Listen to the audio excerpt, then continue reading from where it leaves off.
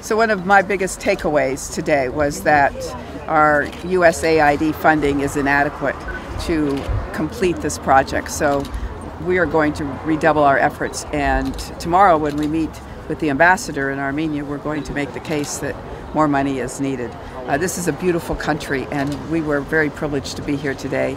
And I look forward to making many well, visits. Uh, I, I just submitted an amendment which was successfully put into the House bill uh, to have more observers and uh, gun locators and uh, the removal of weapons along that border. And uh, so this appropriations would be exactly right to maintain the peace on the border. We will do what we can. And uh, what I saw today, especially over at Halo, uh, moved me so much. I want to make sure that uh, we keep the peace as uh, as as as much as possible here because this is a beautiful country.